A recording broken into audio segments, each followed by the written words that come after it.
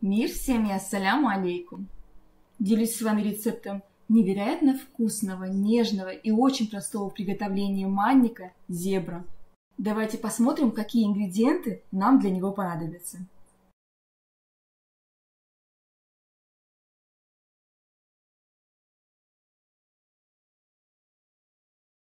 В чашу для замешивания теста отправляем 1 стакан манной крупы, 1 стакан сахара и 2 стакана кефира.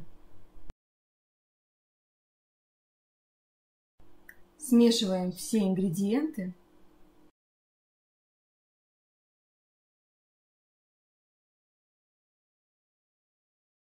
Оставляем на полчаса для разбухания манки. Заодно и сахар растворится. А пока позвоните своему самому близкому человеку и спросите, как у него дела. Полчаса прошли, добавляем в нашу смесь стакан муки и хорошенечко размешиваем, чтобы не было комочков.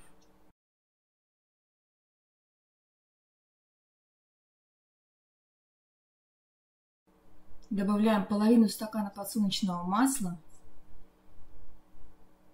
пол чайной ложки или чайную ложку соды и размешиваем. Наше тесто готово. Теперь его нужно разделить на две равные части. В одну часть добавим 2 столовые ложки какао, а в другую 2 столовые ложки муки. Теперь оба теста нужно тщательно перемешать.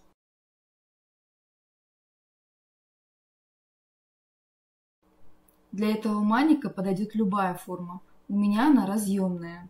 Бока и дно формы я смазываю подсолнечным маслом и собираю наш маник. Пару ложек белой массы и пару ложек темной массы. И так до самого конца.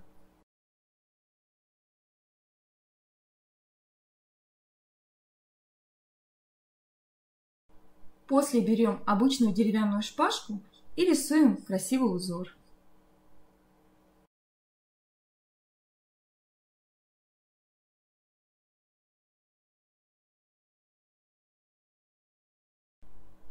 Выпекаем маник в заранее разогретой до 180 градусов духовке 30 минут. Проверяем готовность деревянной шпажкой. Наш манник готов. Получился он очень вкусным. Готовлю я его уже не первый раз. Мягкий, нежный, такой манник украсит любой стол, и праздничный, и обычный. Готовьте с удовольствием для ваших родных и близких. Если вам понравилось это видео, обязательно ставьте лайк, подписывайтесь на нас, оставляйте свои комментарии, вопросы, я обязательно, иншаллах, на них отвечу. Мир всем и ассаляму алейкум.